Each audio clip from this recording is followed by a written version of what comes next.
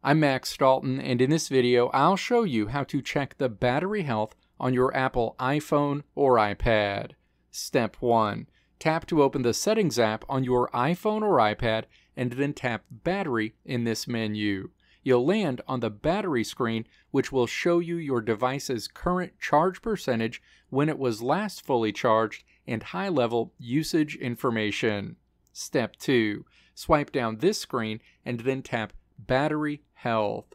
The Battery Health screen opens where you'll see a description of your iPhone or iPad's battery health, the maximum battery capacity, the cycle count, which represents the number of times your iPhone or iPad has used your battery's full capacity, and the manufacture date and first use date for your battery. Let me know if this video helped you out in the comments below. If you liked what you saw here, click the video links on the right side of the screen to check out another video.